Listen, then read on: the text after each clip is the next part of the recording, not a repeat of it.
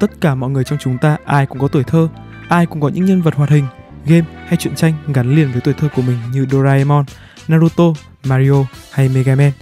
Nhưng có một nhân vật cũng phổ biến không kém, đó chính là nhím xanh Sonic. Một nhân vật xuất hiện từ game nhưng có lẽ với đa số trẻ em Việt Nam lại là qua các bộ phim hoạt hình chiếu trên TV thời xưa. Và mới đây vào năm 2020 thì bộ phim Sonic cũng đã được trình chiếu trên khắp các màn ảnh lớn trên toàn thế giới, nhận về vô vàn sự chú ý từ khán giả đại chúng. Vậy nhím xanh Sonic, một nhân vật nổi tiếng sở hữu tốc độ vượt trội này đã được tạo ra như nào? Làm thế nào mà Sega đã tạo nên một linh vật cùng trò chơi có sức ảnh hưởng lớn đến như vậy? Các bạn hãy cùng Phê Game tìm hiểu chủ đề này qua video Sonic và hành trình Sega đánh bại Nintendo. Trong những năm 1988, sau sự hồi sinh ngoạn mục của ngành công nghiệp game nhờ công Nintendo với hệ máy NES, thị trường trò chơi điện tử bắt đầu sôi động hơn bao giờ hết. Hệ quả của nó là hàng loạt các máy console đua nhau ra đời với một mục đích duy nhất là đánh bại Nintendo. Sega, đối thủ truyền kỳ của Nintendo, nay cũng bắt đầu mở rộng thị phần sang Mỹ và toàn thế giới khi cho phát hành máy Sega Master System nhằm cạnh tranh với NES, để rồi thu về một kết cục vô cùng thảm hại. Tuy nhiên là một công ty lớn, lòng tự tôn của Sega không cho phép họ bỏ cuộc. Chính vì vậy, ít lâu sau, công ty này đã cho ra mắt máy Sega Genesis, máy chơi game 16 bit đầu tiên nhằm đánh bật Nintendo khỏi ngôi vương ngành trò chơi điện tử khi mà chiếc máy NES với phần cứng 8 bit đã quá cũ kỹ. Thậm chí, công ty này còn có một câu slogan vô cùng nổi tiếng Sega does what Nintendo don't. Sega làm những điều mà Nintendo không làm. Nhưng trước khi đạt được điều này thì Sega buộc phải làm một điều mà Nintendo đã làm. Vậy Nintendo có gì mà Sega không có? Đó chính là một linh vật tượng trưng. Nintendo có chàng thợ sửa ống nước Mario, còn Sega có gì? Từ đó Sega bắt tay lên ý tưởng tạo nên linh vật của mình, một nhân vật phải thật nhanh và ngầu hơn Mario nhằm đánh bật chàng thợ sửa ống nước này. Để thực hiện kế hoạch này, Sega đã tổ chức một cuộc thi thiết kế linh vật dành cho mọi nhân viên trong công ty. Kết quả của cuộc thi này là Sega đã thu về 200 bản vẽ phác thảo nhân vật, bao gồm các con vật như TT, gấu, thỏ, vân vân. Trong số những bản thảo đó có một bản thảo của Naoto Oshima đã gây được ấn tượng lớn với mọi người. Đó chính là bản thảo vẽ một chú nhím có khả năng lăn tròn như quả bóng và tấn công với chùm gai trên lưng mình. Nhân vật vừa ngầu vừa dễ thương này được ông gọi là Mr. Needle Mouse. Tuy vậy, Naoto vẫn không tự tin rằng đây là nhân vật hoàn hảo nhất. Tình cờ thay trong khoảng thời gian đó, ông có chuyến đi đến New York. Tại đây, ông đã đến công viên, ngồi vẽ lại một chú nhím, một nhân vật là con người và một con vật khác. Sau đó, ông khảo sát những người xung quanh thì tất cả bọn họ đều nói rằng chú nhím là tuyệt nhất. Naoto tự tin trở về Nhật rồi trình lên sếp của ông không chỉ nhân vật mà còn cả ý tưởng game mà ông muốn dành cho nhân vật này. Ông cho hay ông muốn tạo nên một tựa game sở hữu một nhân vật chạy siêu nhanh, có thể lăn tròn để tấn công kẻ địch. Và người duy nhất có thể thực hiện hóa ý tưởng này của Naoto không ai khác chính là Yuji Naka, một lập trình viên tài năng tại Sega, người đã tạo nên vô vàn tựa game nổi tiếng khác của hãng. Naka cho hay ông dành rất nhiều thời gian để chơi Mario, nhất là việc thực hiện speedrun với trò chơi này. Nhờ đó kỹ năng chơi game của ông sẽ tăng. Do là người đam mê tốc độ nên việc chơi game với tốc độ cao khiến ông cảm thấy thú vị hơn bình thường. Và đây cũng là yếu tố cốt lõi chính cho trò chơi mà ông đang lên ý tưởng. Tuy nhiên, trò chơi này lại thiếu một nhân vật chủ đạo. Tình cờ thay, nhân vật mà Naoto tạo nên lại hoàn toàn phù hợp với trò chơi này. Và thế là quá trình tạo nên Sonic chính thức bắt đầu. Việc đầu tiên đội ngũ cần làm chính là hoàn thiện tạo hình của chú nhím này. Cuối cùng họ đưa đến quyết định chú nhím sẽ mang màu xanh vì đây là màu chủ đạo của Sega. Cùng với đó, nó giúp tạo nên sự tương phản khi đem so sánh với màu đỏ của Mario. Tại thời điểm đó, Michael Jackson rất nổi tiếng. Chính vì lẽ này, họ đã cho Sonic đi chiếc bút giống với chiếc bút của Michael Jackson với hy vọng nó sẽ ngầu hơn. Chiếc bút này có màu đỏ vì đây là màu của ông già Noel, nhân vật được toàn bộ trẻ em yêu mến. Cái tên Sonic được chọn vì chú nhím này có tốc độ nhanh như tốc độ của âm thanh. Sonic trên giấy tờ là đã hoàn thành, việc cuối cùng cần làm là tạo nên một tựa game cho nhân vật này. Đây cũng chính là lúc Yasuhara vào cuộc. Từ đây, ông cùng Naoto và Yuji đã thành lập nên team Sonic. Trong một cuộc phỏng vấn, Yasuhara cho biết khách hàng Mỹ và khách hàng Nhật Bản là hai nhóm đối tượng có sở thích văn hóa hoàn toàn khác nhau. Người Mỹ đam mê những thứ thử thách trong game, nhưng người Nhật lại quen thuộc với lối chơi game đơn giản và giải trí hơn. Do vậy, ông muốn tạo ra một trò chơi mà cả hai nhóm khách hàng trên đều cảm thấy thú vị khi chơi nó.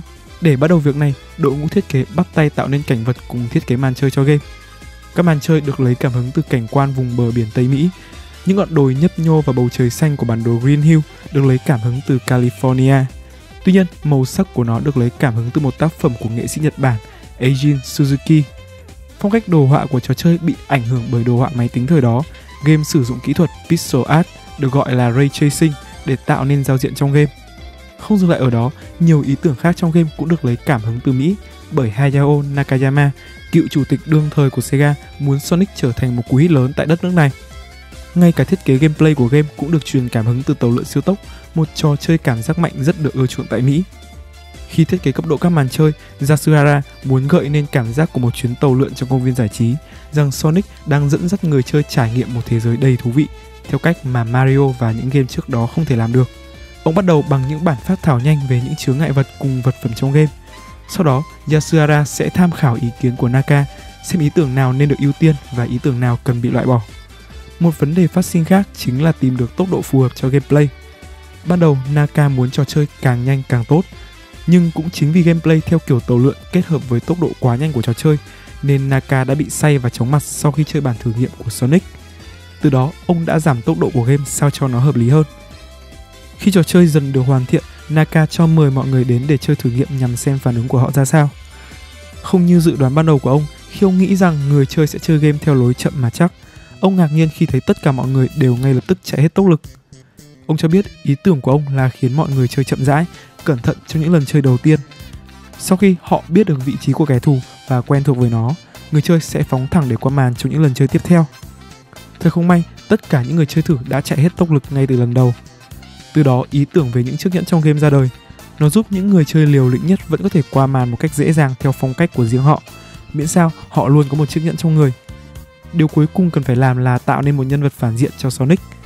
Một trong những bản vẽ bị loại bỏ của Oshima dành cho nhân vật chính. Đó là bản vẽ về người đàn ông râu ria to lớn, nay đã được đội ngũ lựa chọn để trở thành nhân vật phản diện chính của trò chơi. Nhân vật phản diện này được đặt tên là tiến sĩ Eggman. Cuối cùng sau nhiều sự cố gắng, Sonic đã sẵn sàng để ra mắt công chúng. Tuy vậy, Sega vẫn khá lo lắng không biết là người Mỹ có chào đón Sonic hay không. Lý do là ban đầu Sonic được vẽ theo phong cách anime, một thứ không mấy phổ biến tại thị trường này. Cùng với đó, Sonic là một chú nhím mà người Mỹ thời đó thì hầu như không biết nhím là con gì. Vậy là team Sonic đã đưa đến quyết định Sonic sẽ là thành viên của một ban nhạc rock trong cốt truyện. Vẽ thêm cho cậu một cặp răng nanh cùng với một cô bạn gái tóc vàng là con người. Với những thay đổi đó, Sonic được đưa đến giới thiệu cho đội ngũ Sega tại Mỹ. Madeline Stroder, người được nhiều người gọi là mẹ của Sonic, đã đưa ra một vài thay đổi để giúp Sonic có thể thành công tại Mỹ. Cô đã quyết định loại bỏ hết các ý tưởng về cặp răng nanh, ban nhạc rock cũng như cô bạn gái. Đồng thời, cô yêu cầu đội ngũ Sega tại Mỹ vẽ lại Sonic theo phong cách Mỹ hóa hơn. Sau khi thấy đứa con của mình bị thay đổi, team Sonic tại Nhật đã vô cùng tức giận, nhưng họ vẫn ngậm ngùi chấp nhận miễn sao Sonic thành công. Và tất cả nỗ lực đó cuối cùng cũng được đền đáp xứng đáng khi Sonic ra mắt vào năm 1991, nhưng nó vẫn chưa đủ mạnh để Sega có thể đánh bật Nintendo, để Sonic có thể hạ bệ Mario. Vậy là Sega đã mời Tom Kalinske về đảm nhận vị trí giám đốc điều hành Sega tại Mỹ vào tháng 7 năm 1990. Trước đó, ông là cựu giám đốc điều hành Mattel người đã giúp sản phẩm đồ chơi búp bê Barbie trở nên nổi tiếng. Ngay lập tức, Kalinske đưa ra 4 đề xuất. Đầu tiên là giảm giá máy Genesis từ 199 xuống còn 149 đô. Tiếp đến là sử dụng những công ty phát triển game tại Mỹ để giúp Genesis có kho game hợp với thị hiếu người Mỹ hơn. Thứ ba là tổ chức các chiến dịch quảng cáo đánh trực diện vào mặt Nintendo. Đây cũng chính là lúc quảng cáo nổi tiếng Sega What Nintendo ra đời. Và cuối cùng là Sega sẽ tặng kèm Sonic cùng với máy Genesis sau khi nghe kế hoạch này, Nakayama cùng đội ngũ Sega cho rằng nó quá điên rồ. Nhưng đặt niềm tin nơi Kalinsky, Nakayama đã chấp thuận. Và quả nhiên ông đã đúng. Máy Sega Genesis cùng Sonic đã nhanh chóng có mặt tại 15 triệu gia đình khắp nước Mỹ. Sega nhanh chóng chiến thắng ông hoàng Nintendo khi chiếm 65% thị phần game tại Mỹ, trong khi đó Nintendo chỉ chiếm 35%. Sonic cùng Sega đã mang về mình vô vàn nguồn sinh lời khác từ những hợp đồng mời tham gia quảng cáo như Howard Johnson, hay thương hiệu đồ ăn Spaghetti O, cùng vô vàn các nhãn hàng khác.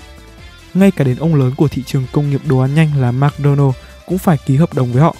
Giờ đây, với trẻ em Mỹ, nhím xanh Sonic còn nổi tiếng hơn cả chú Mickey. Đến cuối năm 1993, Sonic không chỉ sở hữu bộ truyện tranh của riêng mình, mà chú nhím này còn xuất hiện cả trên màn ảnh nhỏ qua một bộ phim hoạt hình Sonic cùng tên. Lần đầu tiên trong lịch sử, một nhân vật trò chơi điện tử lại có độ phủ sóng lớn đến như vậy. Sonic ở mọi nơi.